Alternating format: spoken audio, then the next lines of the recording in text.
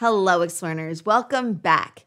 In our community recently, we talked about the importance of learning the language of a country that you plan to live in or visit for a while to better soak up the culture and history and to unlock a dormant part of your identity that you never even knew was there. It was a riveting discussion. And if you would also like to take part in those, I'd encourage you to join our community, Explearning Academy. You can sign up at academy.explearning.co. We would absolutely love to have you. Today, we're going to discuss responding to backhanded compliments.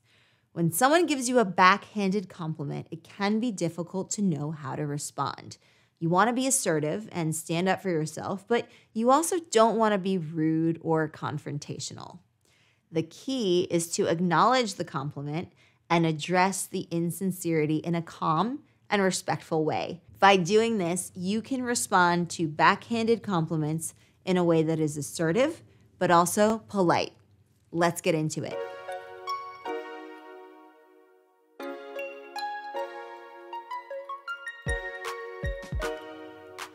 Backhanded compliments, also known as insincere compliments or left handed compliments, can be difficult to respond to because they often come across as insincere or even sarcastic.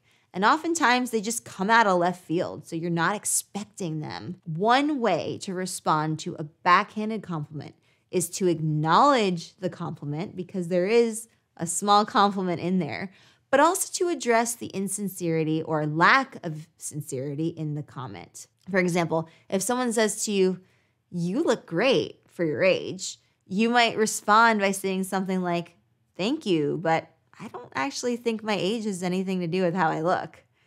This response acknowledges the compliment because there was one there, but it also makes it clear that you don't appreciate the dig at your age and the ageism that this person is reflecting. So, another way to respond to a backhanded compliment is to simply ignore the insincere part of the comment and then just focus on the positive. For example, if someone says to you, You did a great job, considering how little time you had to prepare, you could respond by saying, Thank you, I'm glad you liked it. This response doesn't engage at all with the insincerity of the comment, but instead it focuses on the positive feedback. In general, the best way to respond to a backhanded compliment is to do so in a way that's assertive, authentic, but also polite you want to make it clear that you don't appreciate the insincerity of the comment, but you also don't want to be rude or confrontational.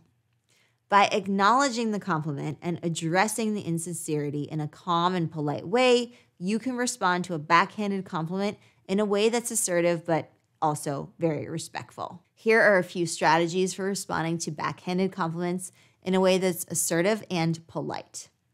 So, acknowledge the compliment, but address the insincerity. For example, if someone says to you, You did a pretty good job for someone who's super new to this, you could respond by saying, Thank you. I really appreciate the compliment.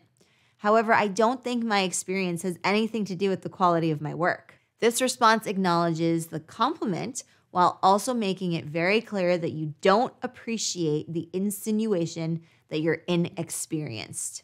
Ignore the insincerity and focus on the positive. For example, if someone says to you, You look nice for a change, you could simply respond by saying, Thank you. I'm glad you like it. I have a new blazer.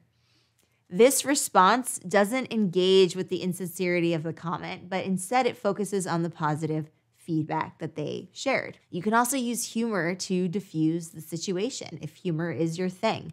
For example, if someone says to you, you're so smart for a girl. You could respond by saying something like, Thank you. I didn't realize my intelligence was dependent on my gender. This response uses humor to diffuse the situation and make it clear that you don't appreciate the sexist comment. Ask for clarification. For example, if someone says to you, You're a great singer, unlike some people I know, you could respond by saying, Thank you. Can you be more specific? Who are the other people you're referring to?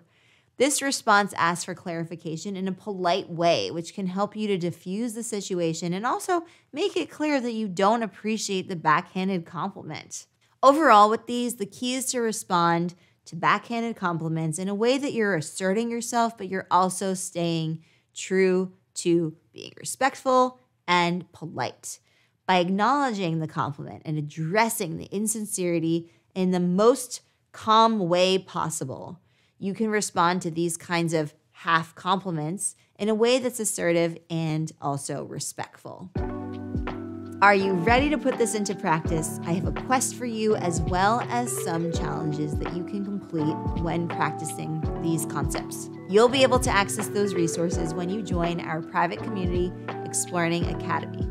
So if you like the quest, the challenges, the discussion that goes along with it, and an opportunity to ask your questions live in a live discussion with me and the other members, you can sign up by going to academy.explearning.co or just sign up using the link down below.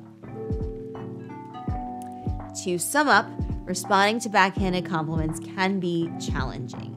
But by acknowledging the compliment and addressing the insincerity in a calm and respectful way, you can respond to backhanded compliments in a way that's genuine, assertive, but also polite.